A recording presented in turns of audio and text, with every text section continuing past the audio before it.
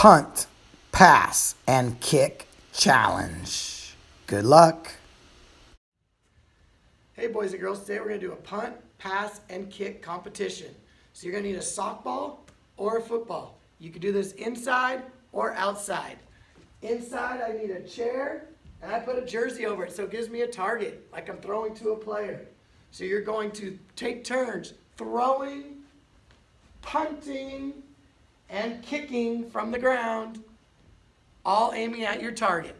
Good luck. All right, boys and girls, we're going to practice our pass. We step, we throw, we hit the target, one point. We jog and get the ball. We come back to our line. Now we're going to do the punt. Two points. And now we're going to do the place kick. So we set the ball on the ground.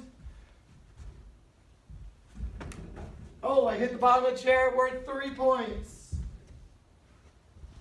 Hey, boys and girls, Mr. Sessano here. Here's the outdoor version of our punt, pass, and kick. Here we go. Pass targets the chair. One point. Next up is the punt for two points.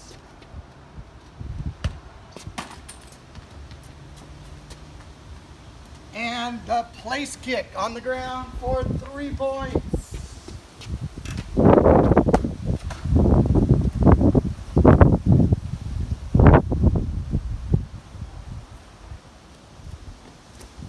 So continue to practice and good luck.